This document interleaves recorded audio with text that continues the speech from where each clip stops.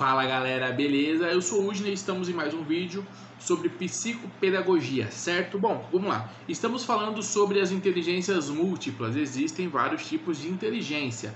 Você está no vídeo provavelmente 6 aqui, tá? Então tem um monte de outros vídeos para você assistir. Quando acabar esse vídeo, você clica no card e vê todos, tá certo? Vai te ajudar bastante. E nesse a gente vai falar sobre a inteligência sinestésica corporal, tá? É a dimensão da inteligência sinestésica corporal, tá? Vamos entender então o que é essa, essa inteligência sinestésica corporal. É a inteligência onde a gente consegue, por sensações dos a gente consegue sentir, né? É, ter a sensação dos movimentos musculares do corpo de alguns movimentos de órgãos, é, de ter a sensibilidade de perceber a mobilidade do corpo e as suas dimensões, as suas particularidades, tá certo? A gente pode colocar, por exemplo, os dançarinos, né?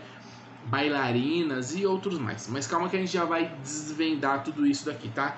Bom, então existe essa, esse tipo de inteligência que é muito interessante, que é essa inteligência do corpo, de sentir, de dominar a arte de movimentação do corpo. Dentro dessa ideia, a gente pode pensar em alguns ofícios e profissões que acabam expressando e mostrando pra gente pessoas que dominam essa inteligência que tem essa inteligência muito afiada, muito aguçada, muito aguçada e desenvolvida. É a área dos artistas, né? Onde você vai ver muita gente é, muito boa nisso, onde a inteligência dessa pessoa, a inteligência maior dela é realmente essa sinestésica corporal no mundo, no meio artístico tem muito isso, tanto no nível de atores de atuação, quanto outros tipos de artistas, eles acabam tendo que trabalhar muito o corpo, tá certo? A dimensão do corpo.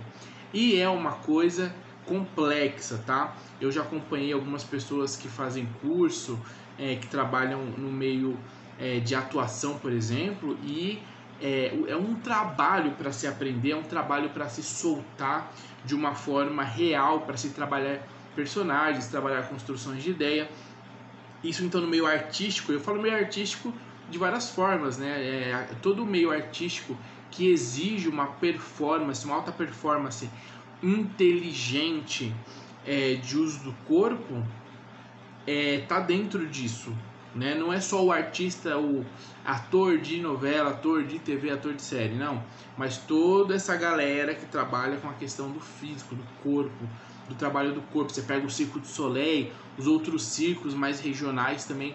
A galera tem que dominar uma dinâmica é, corpórea para fazer os seus números, suas peças e tudo mais.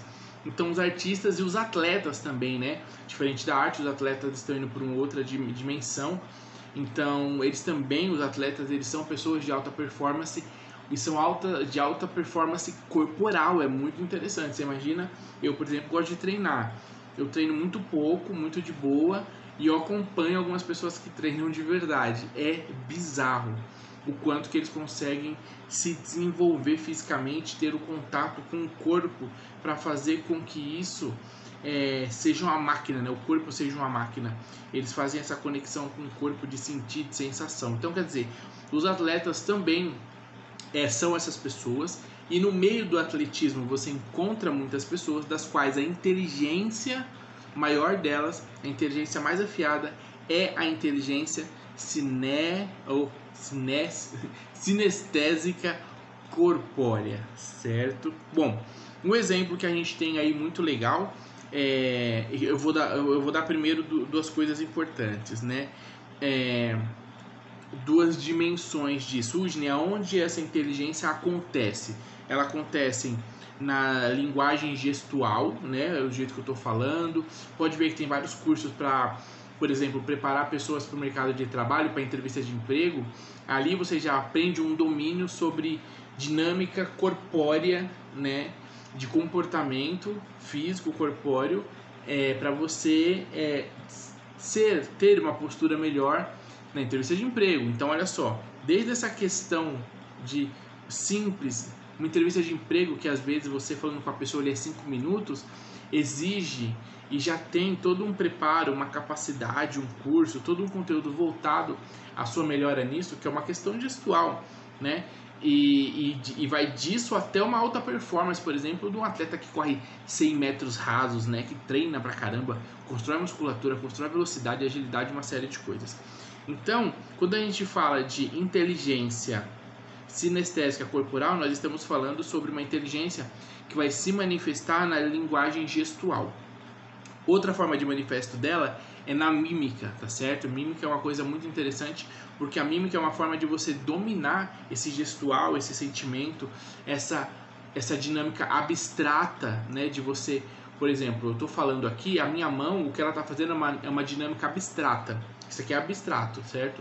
Então, não sei o que e tal, bibi, Só que automaticamente eu estou regendo uma fala, uma postura minha, certo? Então, ó, o minha virou isso aqui, ó, eu isolei, ó, que interessante. E isso na tua cabeça você vai entendendo e você vai conectar o que eu estou falando com o que eu estou gestuando. Então, isso é muito interessante. Então, a mímica, ela fala muito, né? O domínio dessa inteligência também se manifesta na mímica. E aí eu quero dar um exemplo máximo, né? Que é o Charlie Chaplin, que vai viver, vai viver em 1890 até 1970 mais ou menos. E o Charlie Chaplin é um cara que tinha esse domínio, né, daquele o cinema mudo e aquele cara ele conseguia passar todas as mensagens, os sentimentos e as sensações somente com uma mímica, fazendo pantomima. Era genial. O cara é um crânio. É um exemplo da, é um exemplo histórico que a gente tem para entender como é que funciona o nível que pode chegar essa inteligência sinestésica corporal, certo? Bom, e aí tem uma coisa interessante, né? Ela tem, é, como nós podemos dizer, é, é ela tem características muito peculiares, né? É, dependendo do, do seu grupo cultural, você vai ter mais ou menos espaço para fazer com que isso seja algo interessante para sua vida pessoal, né? Por exemplo, ah, vou ver de dança. Será que você consegue na sua cultura ou não? Isso daqui é muito interessante.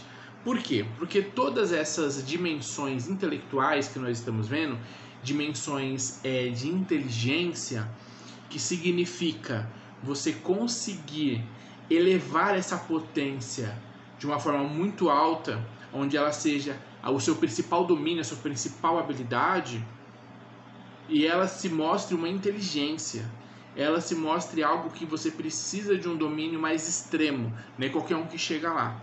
E é esse fator de você disso se tornar um foco, muitas vezes é um, é um problema em muitas dinâmicas da sociedade.